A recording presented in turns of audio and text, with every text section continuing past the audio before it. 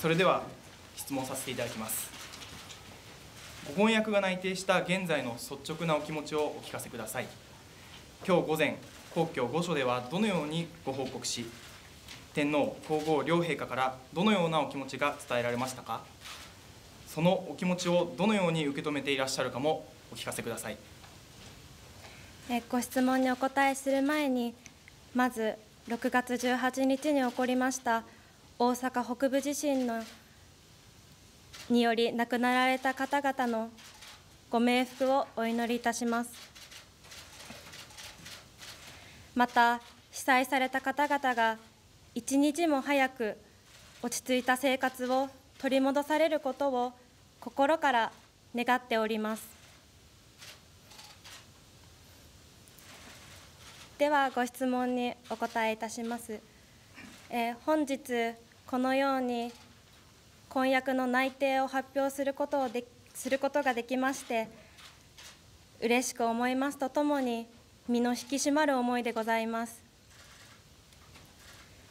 天皇陛下におかれましては今朝ほどよりご気分が優れないとのことであご案じ申し上げております。天皇そのような中皇后陛下に先ほどお目にかかることができ皇后陛下より両陛下の温かくお心のこもったお言葉をいただきました。その内容につきましては私の心の内にそっと留めておきたいと存じます。この日を迎えることができまして、えー、嬉しく幸せなことと存じます。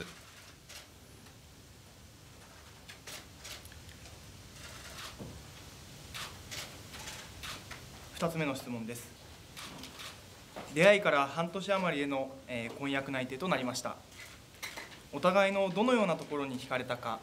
えー、プロポーズの時期や言葉などを含め、出会いから結婚の意思を固められるまでの経緯を具体的にお聞かせください、えー、森谷さんとの出会いは報道にもありました通り母からの紹介でございます。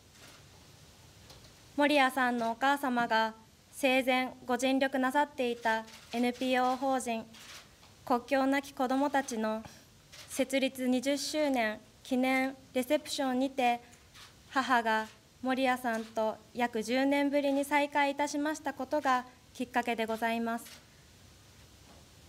私が初めて守屋さんにお会いしたのは昨年12月のことで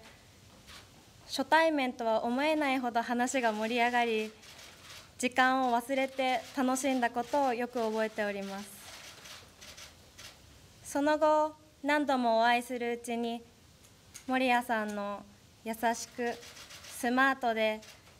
決断力のあるところに魅力を感じ結婚を前提としたお付き合いを始めまして今年に入りレストランでお食事をした後にプロポーズをされました。あまりに突然のことでしたのでお返事は保留させていただきましてその後お互いの家族友人知人も含めてお付き合いをしていく中でこの方ならと思い4月に入りよろしくお願いいたしますとお答えいたしました、えー、私に守屋さんを紹介した母の思惑がどうであったのかは分かりませんが2人でさまざまな場所へ行き時間や思い出を共有していく中で自然とお互いに惹かれ合い今日という日を迎えられましたことは両母親のつないだ素敵なご縁だったのかなと思っております。えー、明るく前向きな方ということがですね、えー、私が綾子様に抱きました第一印象でございました。その後、ご一緒する中で、どなたに対しても温かく接するその優しさという部分に心強く惹かれまして次第に生涯を共にしたいという気持ちが芽生えてまいりましたまたこのような場で申し上げることが適切かどうか分かりかねる部分もございますけれども、えー、親を突然亡くしたことによる心情の変化そのようなものに理解を示していただき心の距離がさらに縮まったとそのように感じます、えー、プロポーズの言葉につきましてはそのようなお話も含みますことからえー、2人の胸の内に秘めさせていただければと存じます。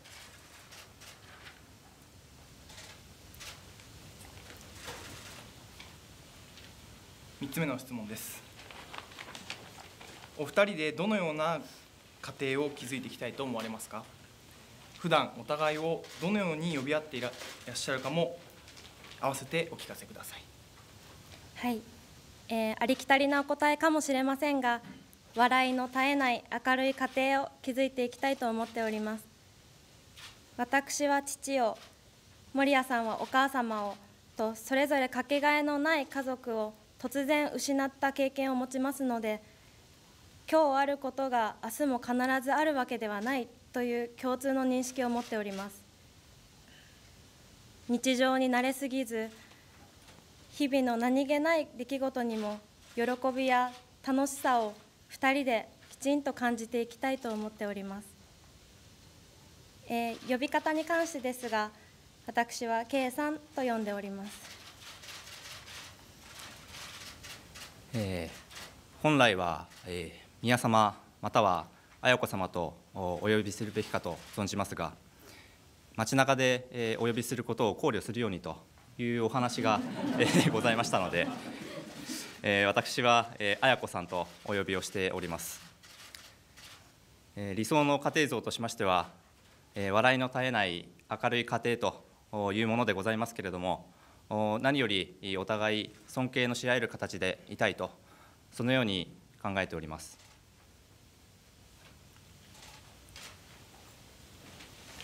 ここからは毎日新聞の高島から質問をさせていただきますご結婚の意思をそれぞれのご家族にどのようにお伝えになり、どのようなお言葉がありましたか？綾子様はお父様を、守屋さんはお母さんを、お母様を亡くされていますが、婚約内定にあたり、ご両親にどのような言葉を伝えたいと思われますか？はい、えー、母からの紹介ということもあり、折に触れて母には報告をしておりましたので改めて何か結婚の意思を伝えるということはいたしませんでしたまた当初より結婚を前提としたお付き合いと考えておりましたので自然な流れで家族にも合わせて父には温かく見守ってくださるようお願いいたしました。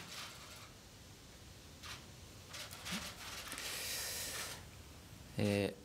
綾子様と家庭を築きたい旨、家族に報告をしましたところ、え当初は大変に驚いていましたけれども、その後、おめでとう、手を取り合って、えー、幸せな家庭を築くようにという言葉がありました。綾子様との出会いに関しましてはえ、私は家族、また関係する皆様につないでいただいたご縁だとそのように信じておりますので、ありがとうございます、このご縁を大切にしてまいりますと、そのように伝えました。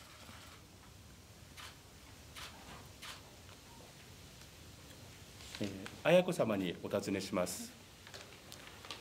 皇族としての日々を振り返り、どのような思いをお持ちですか？皇族の減少についてのお考えもお聞かせください。学んでこられた福祉分野の活動を含め、今後、どのような生活を思い描いておられますか？えー、皇族としての日々を振り返りますと、ありがたくもさまざまなものに触れ、学ぶ機会をたくさんいただいた27年間でございました。青年皇族として果たすべき役割を私なりに果たしてきたつもりではございますがそれが十分であったかどうかは分かりません結婚により皇籍を離れるまでは皇族としての責務を果たすようより一層努力をし結婚後にはこれまで得てきたことを糧にさまざまなことに取り組んでまいりたいと存じます、え皇族の減少は事実として起こっていることではございますがその先の制度を含む含め私はコメントする立場におりませんので発言は差し控えたいと存じます。私は大学時代より福祉分野を学び研究してまいりました。この福祉という言葉には幸せや豊かさという意味があり福祉は自分が関わる人の幸せのために動くことであると私は考えております。ですので学んできた児童福祉や高齢者福祉が今後どのように活かせるかは分かりませんが守屋さんやご家族を幸せにできるよう努めてまいりたいと存じます。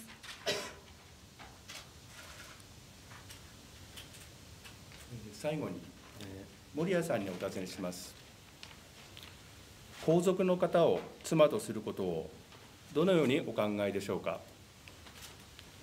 ご自身の性格や大切にされていること座右の銘などをご紹介いただき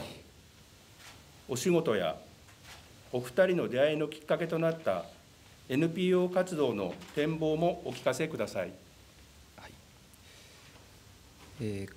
皇族の方を妻としてお迎えすることは、大変に恐れ多いことでございまして、えーただ、一方で大変にありがたく光栄なことと存じます。座右の銘といたしまして、えー日進月歩と言いますでしょうか、えー一歩ずつ、あるいは半歩ずつでもですね、えー常に前向きにということを心がけておりまして、うまくいったことだけではなく、自らの過ちや失敗、えー、辛かったことを糧とし、えー時には反省をし、常に前に行けるように、そのような心づもりで取り組んでおります。仕事にも同じ姿勢で臨みたいと思いますし、また、ご質問のあった NPO の活動につきましても、助けを必要とされる方々に少しでも貢献ができるよう、これからも尽力してまいりたいと存じます。以上でございます。以上をもちまして記者会見を終了いたします。